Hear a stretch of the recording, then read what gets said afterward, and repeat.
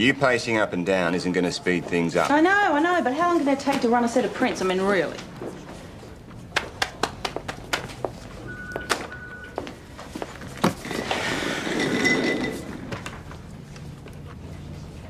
Do you think I work too hard?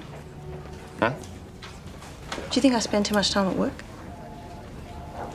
It's homicide.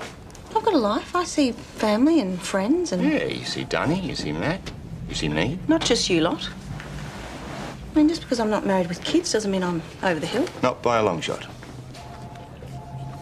What is it about this case that's got under your skin? Nick?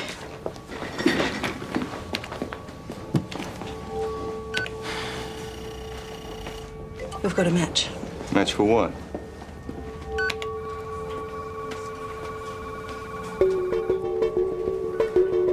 That's why I didn't want to leave prints. In 1995, Lance Hardwick, our baker, was